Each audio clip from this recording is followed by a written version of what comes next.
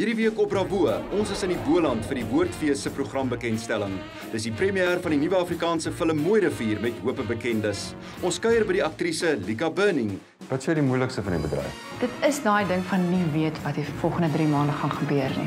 En David Minnar skuif vir die eerste keer vir die Bravo kameras in vir 'n amptelike onderhoud. Man, ek hou nie van onderhoude nie want ek ek ek, ek dink nie ek is goed met woorde nie.